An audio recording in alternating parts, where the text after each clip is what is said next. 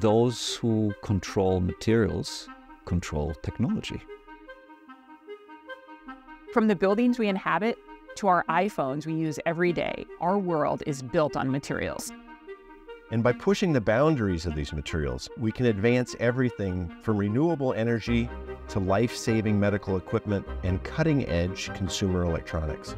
No matter what applications you want to work in, whether it's renewable energy or electronics, you need someone with our background on your team. The material science and engineering major provides students with hands-on experience, revolutionizing medicines, powering batteries, unlocking the potential of superconductors. The work our students do has real-world impact. Material science is studying the physical and chemical properties and structures of materials, and then understanding how do we apply them in different contexts.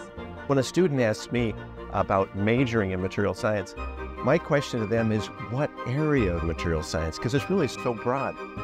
Material scientists really get skills that they can translate into a wide range of careers.